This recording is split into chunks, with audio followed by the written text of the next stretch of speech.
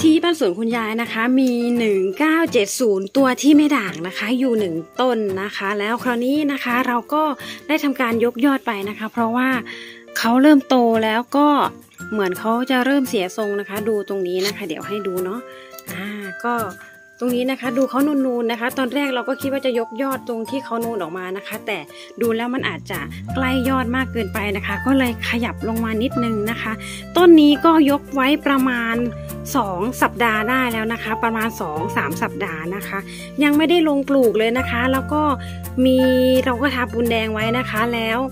ปรากฏว่าปูนแดงที่แห้งเขาก็กระเทาะออกนะคะ ก็เลยทำการทาใหม่นะคะ ยังไม่ได้ลงปลูกนะคะ ใบเขาก็จะฟี่ๆเหี่ยวๆแบบนี้นะคะ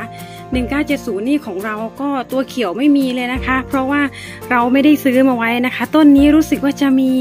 พี่ท่านหนึ่งแถมมาให้ตอนที่เราซื้อไม้ใหม่ ๆนะคะ แต่จำไม่ได้ว่าเป็นท่านใดนะคะอ่าแล้วคราวนี้นะคะเราก็ได้ยกยอดเขานะคะ แต่ปรากฏว่า เราลืมทาปูนแดงตรงที่เรายกยอดในส่วนของตอแม่นะคะ จะสังเกตว่าเขาจะเป็นเชื้อรา แต่ว่าก็รอดมาได้แล้วก็ไม่เป็นไรนะคะ แต่จริงๆแล้วเราก็ควรจะทาปูนแดงด้วยนะคะ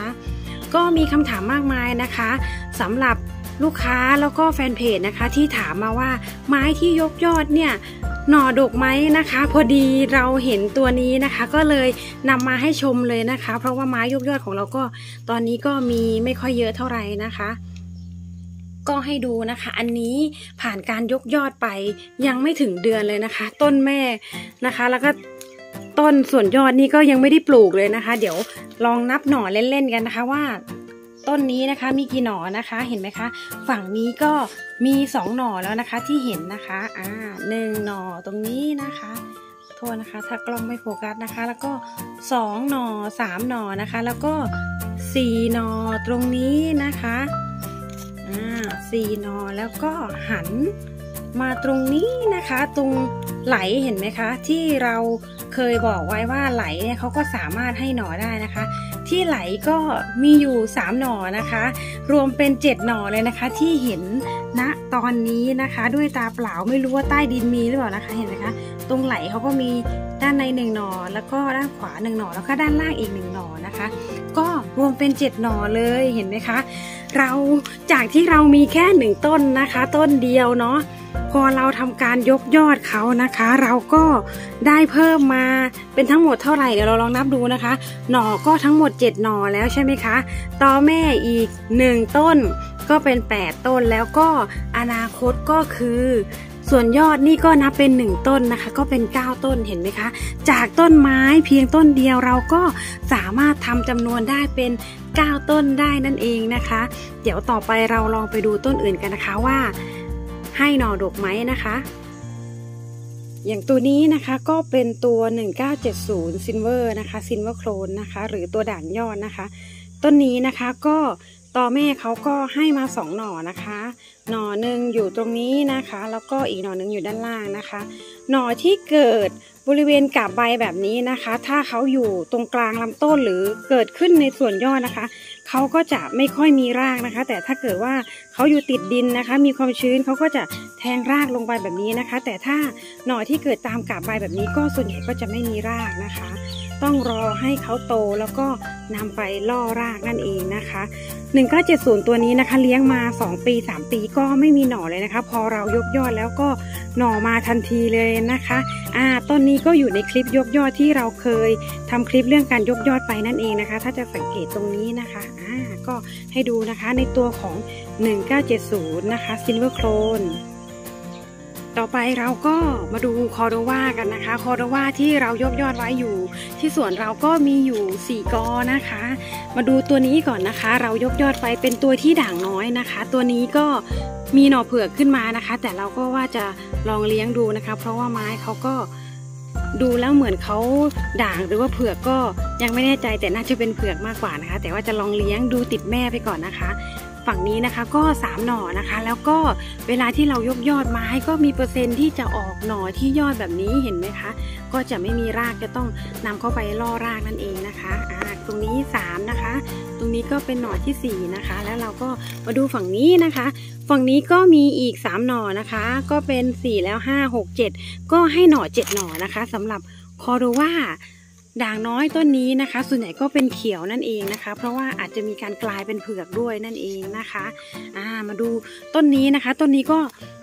ยกยอดเหมือนกันนะคะ ด่างสเตียสวยเลย แต่ว่าตัดหน่อไปเยอะแล้วนะคะ ส่วนใหญ่ก็แบ่งไปในราคาไม่แรงมากนะคะ เพราะว่าคอโดว่าก็ให้หน่อเยอะนะคะ สังเกตนะคะว่า ความโชคชนของการให้หน่อนะคะ อันนี้เราตัดคาแม่ไว้นะคะ เพื่อที่จะให้แผลเขาแห้งนะคะ เวลาเรานำไปปลูกหรือจัดส่งลูกค้า ไม้จะได้ไม่เน่านะคะ ก็รากเดินต่อได้เลยเห็นไหมคะอ่าก็จะมีรอยหน่อที่เราตัดไปหนึ่งหน่อสองหน่อตรงนี้นะคะ ส่วนใหญ่แล้วก็มีรอยตัดเยอะเลยนะคะ ต้นนี้ก็ล่าสุดนี้ก็มีเจ็ดหน่อนะคะ แต่ว่าตัดขายไปบ้างแล้วนะคะ มาดูของต้นนี้นะคะ ต้นนี้ก็ดูด้วยตาเปล่าเลยก็คือ 5 หน่อนั่นเองนะคะ ด่างสวยทุกหน่อเลยเห็นไหมคะ ต้นนี้ก็จะเป็น